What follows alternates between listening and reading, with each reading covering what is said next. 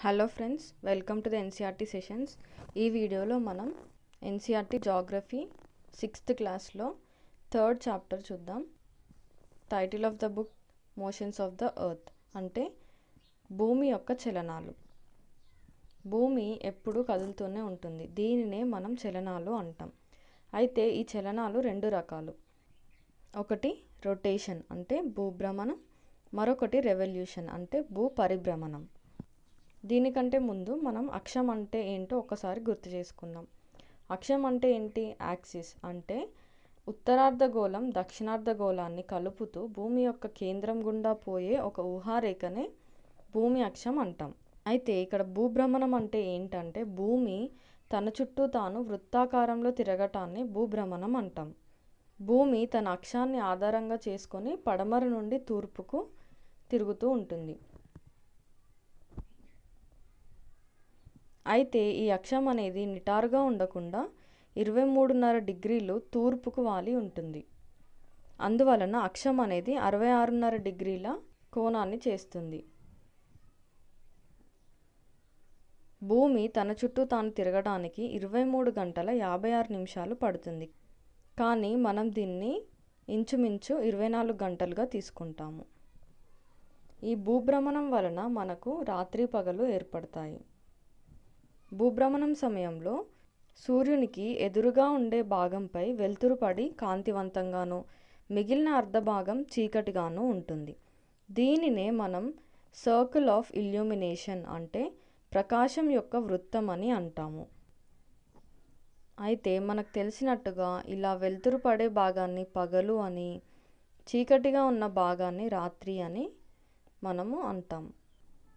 తర్వాత వచ్చేసి రెవల్యూషన్ అంటే భూ పరిభ్రమణం భూమి తన అక్షంపై తాను తిరుగుతూ సూర్యుని చుట్టూ తిరగటాన్నే భూ పరిభ్రమణం అని అంటాం.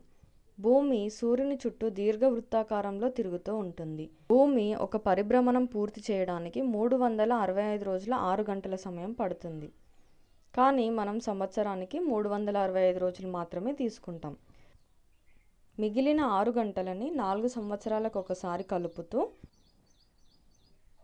ప్రతి నాలుగవ సంవత్సరంలో మనకి మూడు వందల అరవై ఆరు రోజులు వస్తాయి. దీనినే మనం లీప్ ఇయర్ లేదా లీప్ సంవత్సరం అని అంటాం.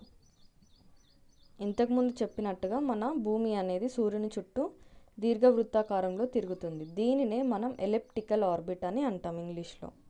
ఇలా భూమి దీర్ఘవృత్తాకారంలో తిరగటం వలన భూమికి సూర్యునికి మధ్య దూరం ఒకే విధంగా ఉండదు. దీని వలన మనకి ఋతువులు అనేవి ఏర్పడతాయి. తర్వాత ఇక్కడ చూస్తే మనకు అయినాంతాలు అయితే మనకు తెలిసినట్టుగా భూమి యొక్క అక్షము ఇరవై మూడున్నర డిగ్రీలు తూర్పుకు వాలి ఉంటుంది.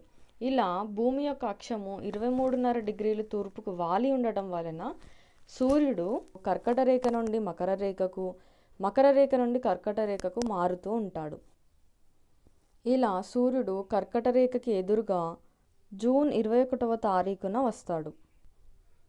అలాగే మకర రేఖకి ఎదురుగా డిసెంబర్ ఇరవై రెండున వస్తాడు. ఇలా సూర్యుడు కర్కట రేఖకి మకర రేఖకి ఎదురుగా రావటం వలన ఆ రెండు రోజుల్లో మనకి దీర్ఘమైన పగటి కాలం ఏర్పడుతుంది. అయితే ఉత్తరాయ అయినంతంలో దీర్ఘమైన రాత్రికాలం డిసెంబర్ ఇరవై రెండున ఏర్పడుతుంది. దక్షిణాయంతంలో దీర్ఘమైన రాత్రికాలం జూన్ ఇరవై ఒకటిన ఏర్పడుతుంది. జూన్ ఇరవై ఒకటి నుండి డిసెంబర్ ఇరవై రెండు వరకు ఉన్న మధ్యకాలాన్ని ఉత్తరాయణ అయినంతము అని అంటాము. అలాగే డిసెంబర్ ఇరవై రెండు నుండి జూన్ ఇరవై ఒకటి వరకు ఉన్న మధ్యకాలాన్ని దక్షిణాయ అయినంతము అని అంటాము. దీన్ని మనం ఇంగ్లీష్లో సమ్మర్ సాల్స్టైజ్ వింటర్ సాల్స్టైజ్ అంటాం. తర్వాత వచ్చేసి విషవత్తులు అంటే ఈక్వినాక్స్. ప్రపంచం అంతటా రాత్రి పగలు సమానంగా ఉండటాన్ని విషవత్తువులు అని అంటాం. అయితే ఈ విషవత్తువులు ఎలా ఏర్పడతాయో చూద్దాం. భూమి యొక్క అక్షం ఇరవై మూడున్నర డిగ్రీలు తూర్పుకు వాలి ఉంటుందని మనకు తెలుసు.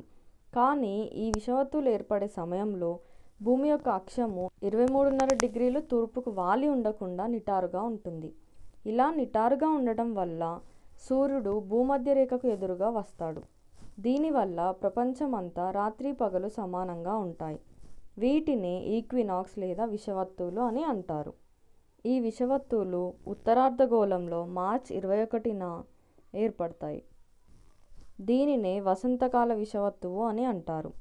దక్షిణార్ధగోళంలో సెప్టెంబర్ ఇరవై రెండున ఈ విషవత్తువు ఏర్పడుతుంది. దీనిని శరత్కాల విషవత్తువు అని అంటాము.